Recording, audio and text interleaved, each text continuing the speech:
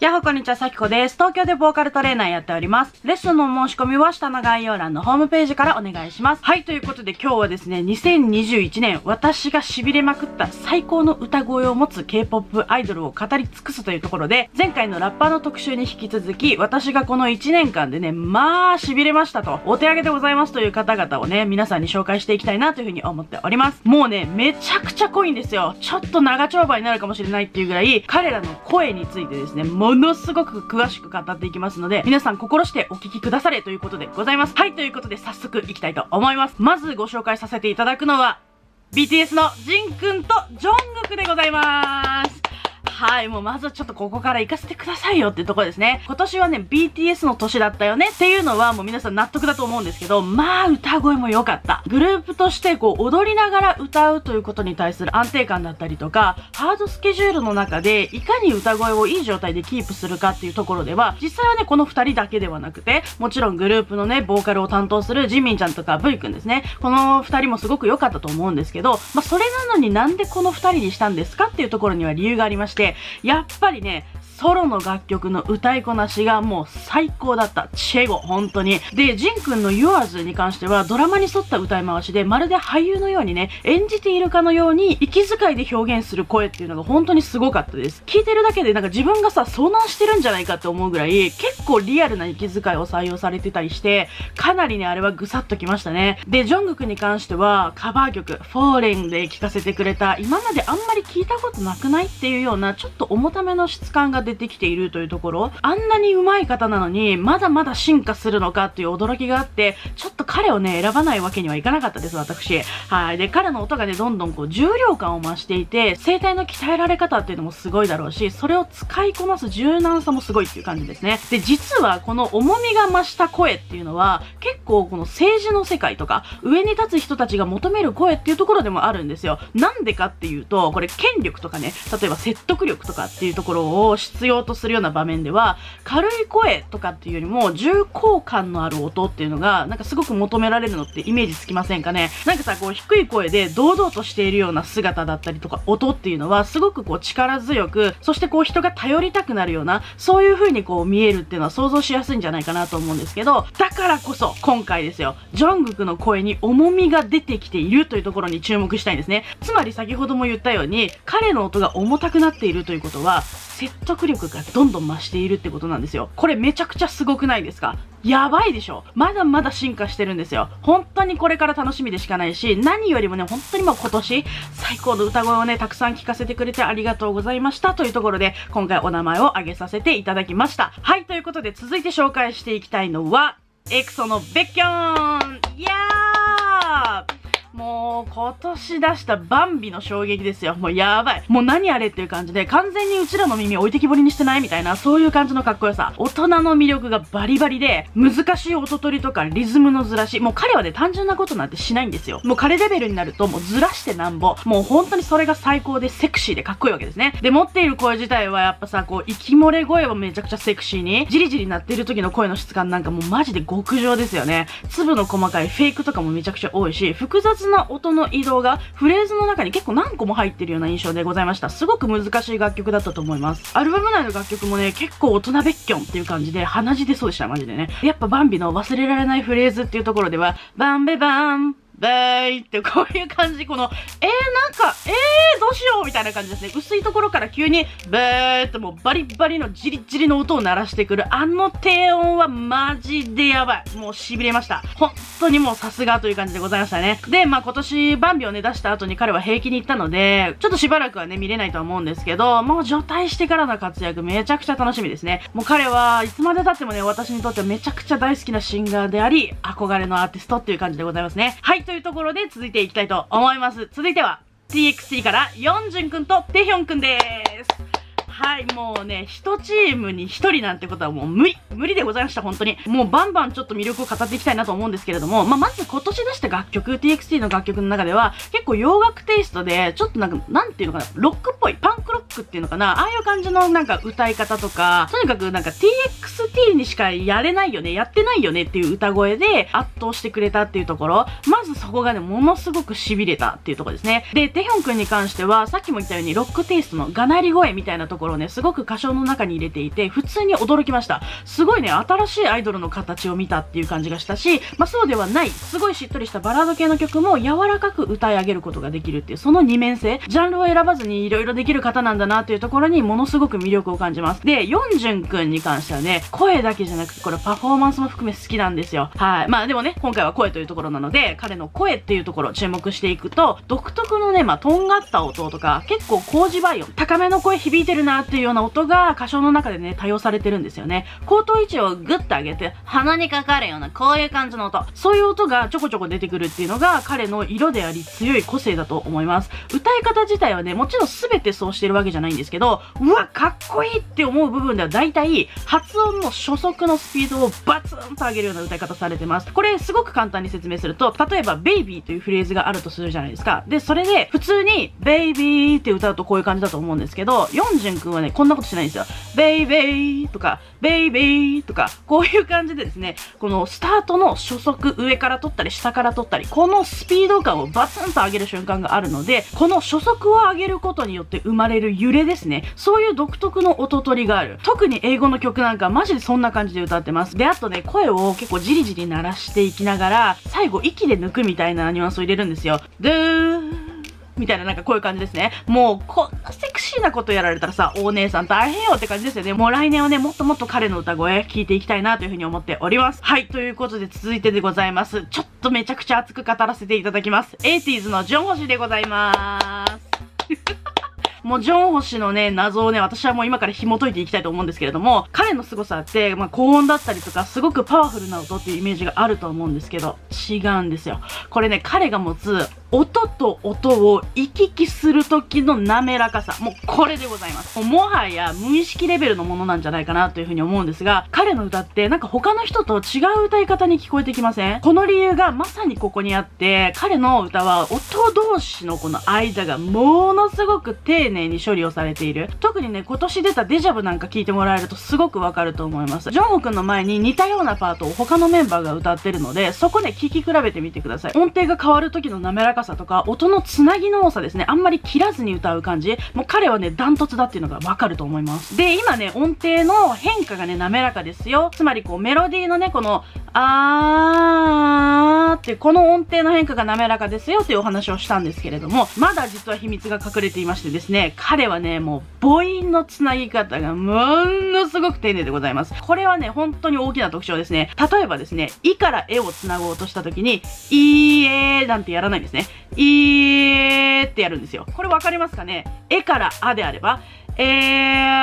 ーって繋ぐんですね。もうこれですよ。彼の秘密はここにあります。この母音の変化があるからこそ、先ほど言った音程の滑らかさっていうのも出てくるし、何よりもね、他の人と違って少しねっとした歌い方になりますね。夜間飛行の時に、そのねちっこさみたいなところね、私少し触れてたと思うんですよ。なんかすごい、うえって歌うね、みたいなことをね、言ってたと思うんですけど、その理由がまさに母音でございます。この処理の仕方が他の人に比べて段違いに滑らかに繋がっているっていうところがね、彼のめちゃくちゃ痺れたとこですね。この超滑らかな音の処理ができるので、語尾のビブラートの波のスムーズさですね。ビブラートっていうのは基本的に音程の変化、どれだけ、あーあーあー滑らかに規則的に音程を変化させられるかっていうところですね。ここが関わってくるので、やっぱりそこがすごく特徴的な方だから、ビブラートの美しさもやっぱすごい。ちょっと別格だなというふうに思いました。しなやかさもありながら、高音の音の力強さ、パワーボーカル的な部分ですね。そういうものがあると。一見するとね、結構しなやかさと力って相反するように思えるかもしれないんですけど、実はね、高音発生するにあたって、声帯の扱いの滑らかさだったりとか、舌の力み加減、それ以外にも他の筋肉たちとどうバランスをとっていくかっていう、そういう本当にこう、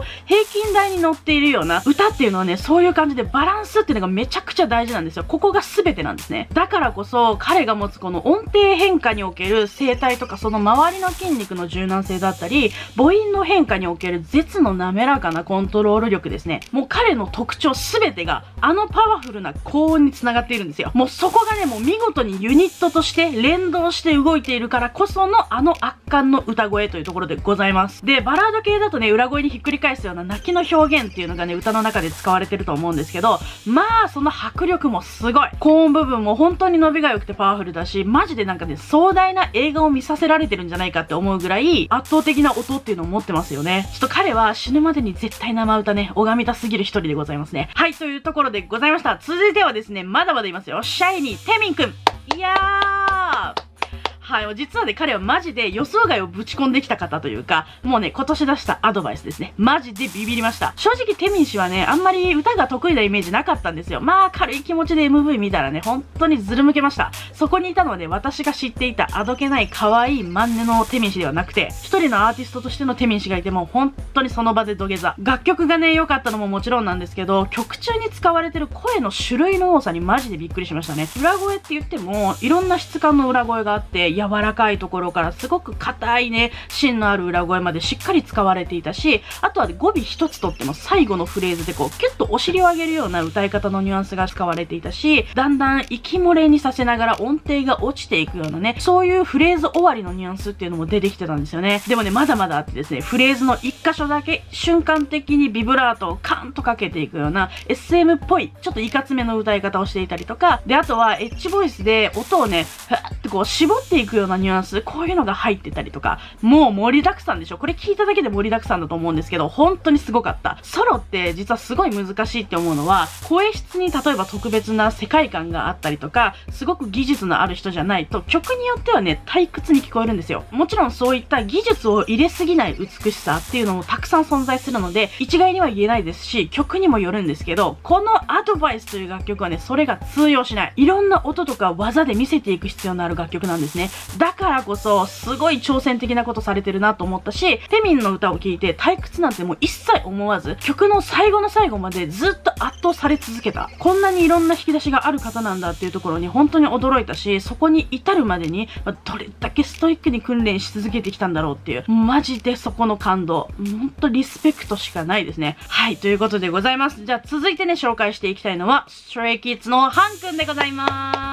はい、もう彼はね、もともとラップがね、すごい上手くて、やばい子いるじゃんとかって思ってたんですけど、まさかの歌声の美しさにびっくり。もうね、彼の裏声とビブラート、もう極上ですね。私の耳が幸せと言っている。もうマジで彼の声を聞いた瞬間に、あれよあれよと沼落ちしました。で、まあ、ラップの話になるんですけど、ハニハニってさ、なんかすごい言葉数やたら多くないみたいな。結構早口でまくし立てるようなラップをしてるイメージが強いんですけど、ステイの皆さんどうですかね？まあ、そんな感じで本当に彼のラップ圧倒しちゃうんですよね。なんですけど、ひとたび歌を歌うと、もう本当にその甘い歌声にうっとりっていうところで、ちょっと切ない感じの音もね、私のメンタルくすぐりまくっちゃうのよ。僕なら大丈夫ってもうあれ忘れられなくない？マジで。本当に。歌の時は繊細に美しく、バラード最高というところでございますね。ハニハニ。出会ってくれてありがとうって本当に伝えたい。本当に伝えたい。で、同じグループでね、スンミンくんっていう方いるんですけれども、もう彼もね、また鳴ってる音を持っておりましてですね、ウィンターフォールズ、特に最高でした今年。今回ね、メインでお名前は挙げてないんですが、いじけんじゃな、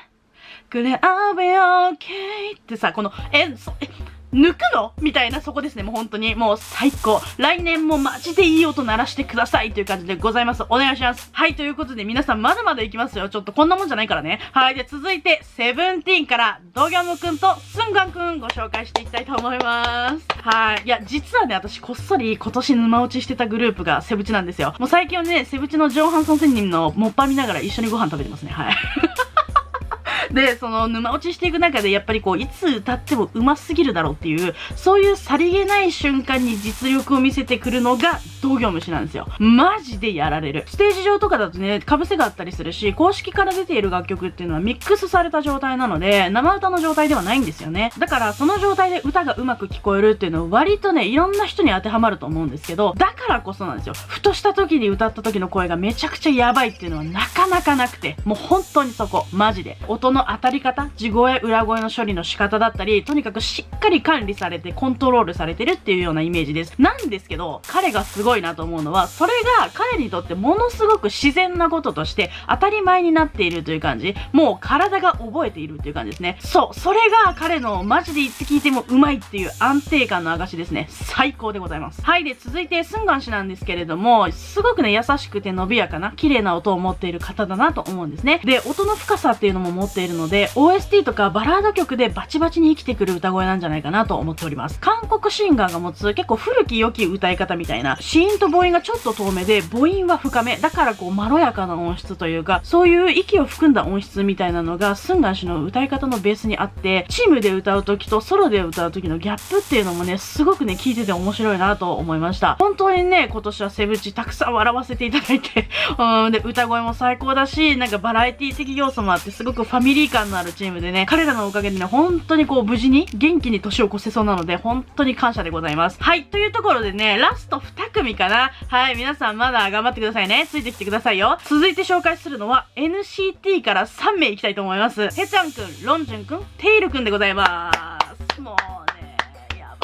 年は NCT もかまされまくった私なんですけれども、ボーカルラインよりこの3名をね、上げさせていただきたいなというふうに思います。まずね、へちゃんくんからいきたいと思うんですけど、もう彼が歌い出すと、天使のラブソング並みに振り返る、もう、ってなるあの鉄則の動きですね。もう私の歌声分析の中でも、からのへちゃんって絶対言ってしまうっていうの、もそれが口癖になるぐらい、本当にこう彼が持っている唯一無二の音ですね。もう本当にそこが全て。少年のような高めのトーンを持つエンジェルボイスっていう感じで、歌唱技術的なところに関しては、音音程を上からバツンと取っていくような、そういう歌い始めをするようなニュアンスが多いんじゃないかな。で、音の合間とか語尾にはビブラート結構入ってきます。フェイクもガンガンかましてくるって感じ。声質とは裏腹に結構いかつめの歌い方になってるんですよね。それがね、彼の歌を聴いてて、うわ、やばってなる理由かなっていう風に思います。はい。で、続いて、ロンジュン君なんですけれども、彼はもうね、私がずっと言い続けてるんですが、極上のウィスパーボイスの持ち主でございます。本当に美しい息漏れ声を持った方というところで、マジで今年はね、彼の歌にやられまくりましたね。てかもう私さ、一年中やられまくってんだけど、やばくない？で、結構、ロンジュ君の周りのメンバーたちが結構いかつさもりもりの方たちが多いので、一人だけなんか芸術作品みたいに美しい音？だからこそ彼の良さがものすごく引き立つんですよね。物腰がすごく柔らかい音というか、息漏れの多い切ない裏声も持っている方なので、音圧的にはね、こう、じりじり、バリバリみたいな、なってんねみたいな強さがあるっていうわけではないんですけども、それでいいんです。あの切ない歌声を一度でも聞いてしまったら後戻りはできない。ロンジュン様のこの尊いお声がね、我々人間界の民にこれからもね、たくさん降り注ぎますようにというところで願うばかりでございます。はい、ということでね、NCT よりラストの一人、テイルくんでございます。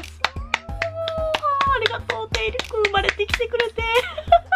もう本当に全くブレない歌声、圧倒的安定感っていうところ、声帯の鳴りもものすごく綺麗で、マジで隙がないです。ツヤ感のある音質だったりとか、大きめのビブラートっていうのが特徴的なのかな。語尾の処理の仕方もね、もう神がかって綺麗なんですよね。息と一緒にね、裏声に抜く時もあれば、音量をね、ぐーっと落としながらしっとり終わっていくみたいな、もうどれ聞いても最強のクオリティです。希少価値が高すぎる。で、パワー系のね、高音出す時っていうのはもうなんかズドーンっていう稲妻がね、もううちらの耳にぶっ刺さってくるようなさ、そんな感じの質感を持っていて、どんなに雑音の中で歌ってても、テイル氏の声だけはちゃんと聞こえるぜっていう、そんな強い音を持っている方ですね。で、それなのにさ、バラードの時は、決してこう、きつい質感には聞こえてこなくて、むしろなんか陶器のようにこう、滑らかな、ツヤ感のある質感というか、それでいて、高音もしなやかにね、伸びていくっていう、もう何それもう意味わかんないんだけど、みたいな、本当にそんな感じ。こう、気圧がね、がっつりこう、ぐっとかかっているような、パワフルな高音パートでも、声がね、もう、コロコロ、くるくる動き回るようなフェイクっていうのをガンガンかましてくるし、本当に歌の能力値が高すぎますね。で、そのくせ自分が歌に対してなんか自信が持てなくなると声枯れるまで練習して自己肯定感高めるみたいな記事あったんですよ。これね、1年ぐらい前のインタビューの記事だったんですけど、いや、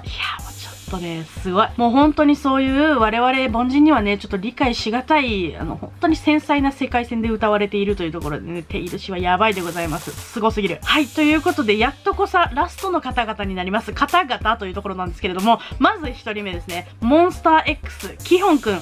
あざっす今年ね、あんまり触れる機会なかったんですけど、まあ、モネク自体はね、ちょこちょこ気になって聞いてたんですよね。で、そんな中でスポンと私の YouTube のおすすめに上がってきた動画がありまして、キヒョンくんが高音域ですね、もうバッチバチに声量出してるところですよ。地声から裏声にバキッと切り返している動画がありまして、あれを見た時に、うわ、やばいと思って、あの衝撃ちょっと未だに覚えてます。で、今年出した The Dreaming っていうアルバムの収録曲がね、私結構好きで、タイプな曲が多くて聴いてるんですけど、その中でね、キヒョンくんのこの独特なス少し高めの音というかね、結構じりじり鳴っている音質っていうのがよく耳に入ってきて、で、しかもそれだけじゃなくて、少しね、弾みながら歌うような軽さもあるんですね、彼ね。楽曲ごとにこれ変えてるとは思うんですけど、彼の軽快に弾みながら歌うって感じが私すごく好きで、運動能力高そうだなと思って聞いておりました。モンスター X の楽曲の重たいビートにも映えるような、軽快さのあるおしゃれな歌声っていう感じ。韓国語の曲だと、ギャンブラーとかめちゃくちゃそんな感じですごい良かったですね。ちなみに先ほどから私、軽快とは言っているんですけれども、ビートに負けないぐらい、ちゃんとこう、芯をね、立たせている、バキバキにしているっていう音質があるので、決してね、軽い音っていうわけではございません。あくまで音の動きが軽快という感じでございます。あとね、彼の声聞いてて面白いなと思うのは、結構ね、エボイン系の音強めなんですよね。発音がちょっとエボインっぽいんですよ。その特徴が、こう、音を明るくするというか、キーンとね、通る音にしている要因の一つだと思うんですけど、まあでもね、これ、OST とかバラード系聞くと、またちょっとね、歌い方のニュアンス変わってるんですよ。軽快さとか鋭さっていうところよりも、落ち着いた柔らかいトーンの感じで歌っているので、まあそのあたりはね、曲調とかによって、ちゃんと使い分けてるんだろうなという感じでございますね。プロです。で、あとごめんなさい。もう一人もネクからね、どうしてもお話をしたい方がいらっしゃいましてですね、ラップの回で上げさせていただきました、ジュホンくんなんですけども、ちょっとね、マジでガチで歌がやばい。これね、私が今年モネクの動画をね、聞き漁っている時に見つけた3年前にアップされた動画なんですけど、ベルサーチョンフロアっていうブルーノマーズの楽曲ですね。こちらをカバーしている動画っていうのを見てしまって、もう深夜にドン引き。あれマジで衝撃です。ラップの回では彼のラップの素晴らしさを伝えたかったので言わなかったんですけど、ちょっとね、もうほんと歌の回でも言わせてくれって思うぐらい、あれはマジで痺れた。マジ見たことない人、一回見た方がいい。マジで。モンスター X ベルサーチオンフロアで調べてください。マジで本当に最高です。もう本当に、はぁってなってる瞬間がもうバカしか出てきます。すごい。もうあれは痺れた、本当に。で、ちなみにこの時ね、キヒョンくん、今と変わらずに結構軽快に跳ねるような歌い方されてるんですよね。やっぱりこれね、彼の歌い方の特徴、スタイルなんじゃないかなというふうに思いました。はい、ということで皆さんお疲れ様でした。もう今年私が痺れまくった最高の歌声を持つ K-POP アイドルたちというところで、男性アイドルグループの中から厳選してね、お話をさせていただきました。ちょっとね、厳選してこれですよ。やばくない？ちょっと、マジで。で、何しろ、ちょっと今年はね、男性グループが熱すぎた。マジでこの動画撮るまでに、ものすごいエネルギーを消耗しました、私は。それぐらい選ぶのもやっぱ難しかったし、たくさんね、素敵な方々がいて、改めてやっぱ皆さんにね、リスペクトだなというところですね。はい。で、今回ね、私が紹介した中にね、皆さんの推しがいたかどうかっていうところもね、ちょっと気になるところではありますので、どんどんコメントしてください、本当に。他にもね、皆さんの感想だったりりとか、そういったコメントすごく嬉しいです。全部見てますので、ぜひぜひ気軽にコメントしていただけたらと思います。はい、じゃあ今日はね、こんな感じで終わりたいと思います。また次の動画でお会いしましょう。バイバイ